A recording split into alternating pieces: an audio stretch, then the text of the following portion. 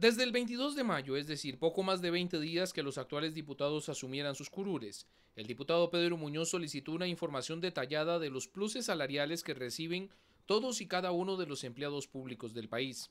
Ante dicha solicitud, la Contralora General Marta Acosta había mencionado al diputado que harían el requerimiento de la información. Sin embargo, casi cinco meses después, la respuesta es silencio.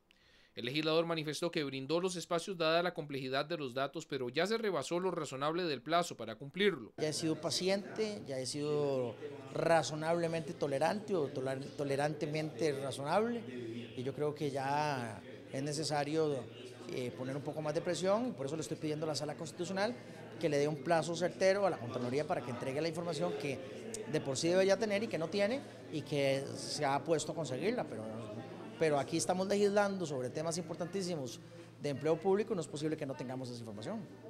Llama la atención, sin embargo, que en el recurso no se acuda también al Ministerio de Planificación y Política Económica, justamente donde reside la Secretaría Técnica de Empleo Público. Muñoz afirma que, vista la complejidad de decisiones, dicha información es vital. Es una buena pregunta. Eh, nosotros entablamos el diálogo con la Contralora y ella aceptó obtener la información. Eh, pidió tiempo, le dimos el tiempo. Ahora lo que necesitamos es que conteste. Desde que entramos aquí, el primero de mayo, sabíamos que le íbamos a estar entrando al tema de la administración pública, al tema de empleo público, al tema de los pluses. Ya sabíamos, o sea, desde que, es más, desde que quedamos electos ya sabíamos que eso iba a ser así.